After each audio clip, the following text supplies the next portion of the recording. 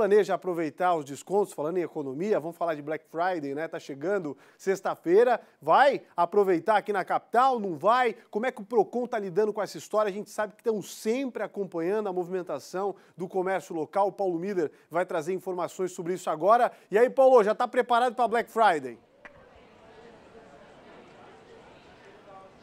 Estou preparado, Polito, e acho que todo mundo tem que estar preparado aí também, mas claro que tem que ser um consumo consciente. E o PROCON aqui de Florianópolis está dando uma ajudinha aí para as pessoas que querem aproveitar esses descontos do comércio, porque desde outubro o PROCON tem monitorado os preços aqui no comércio de Florianópolis, principalmente da linha branca de eletrodomésticos e eletrônicos. Tudo isso para comprovar que realmente na próxima sexta-feira, na Black Friday, as lojas vão praticar descontos reais e não vai ser uma Black Fraud, como se costuma falar aí nas redes sociais. Por isso a gente convidou o Sandro Ventura, ele que é secretário adjunto de Defesa do Consumidor aqui de Florianópolis. Sandro, muito boa tarde, obrigado pela participação. Procon, de olho nos preços e os preços, inclusive, disponibilizados para os consumidores no site da Prefeitura. Exatamente. Muito boa tarde, boa tarde Paulo, boa tarde a todos. É, o Procon vem desde outubro realizando as ações de fiscalização, intensificando essa ação e botando à disposição é, dos consumidores no site da Prefeitura as informações nas principais lojas de departamento,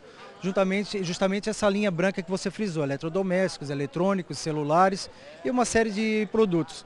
Então, nosso objetivo é fazer com que o consumidor realmente é, tenha a possibilidade de comprar com os preços em desconto e não simplesmente propaganda enganosa. Base nessa tabela que já está disponível no site da, da, Prefeitura, o consumidor pode pegar, inclusive imprimir essas informações e na loja consultar e caso ele perceba alguma diferença de preço e realmente que o desconto não está sendo praticado da forma que deveria, é só acionar o PROCON. Justamente, o consumidor acaba sendo o nosso maior fiscal, ele tem o papel também né, de fazer essa, esse controle das, das opções e das promoções é, realizadas no Black Friday então é importante que nesse dia que antecede a sexta-feira, 23, ele possa fazer esse controle, tirar as fotos, guardar, guardar todos os tipos de informações para que realmente ele constate que no dia da, do Black Friday, na sexta-feira, estejam sendo aplicados esses descontos.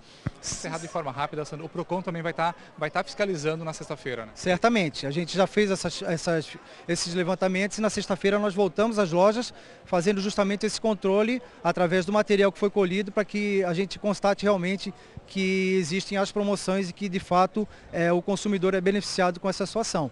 Então, o consumidor que se lesado, é ferido no Código de Defesa, ele pode procurar o PROCON através é, da nossa secretaria, na Praça 15, e, e levar os documentos que tiver em mãos, é, documentos pessoais e também é, o que, é, os que constatarem qualquer tipo de fraude ou de aplicação de propaganda enganosa. Obrigado pelas informações, um bom trabalho do Procon, Polito, uma excelente ferramenta aí para o consumidor, tem agora acesso a esses preços. Vale lembrar que o, a loja, né, que na verdade praticar descontos enganosos, ela vai ser notificada pelo Procon aqui de Florianópolis, ela tem um período de defesa de 10 dias. E caso esse desconto, esse preço é, de forma ilusória for praticado e não justificado, a loja pode ser multada conforme o faturamento que ela tem.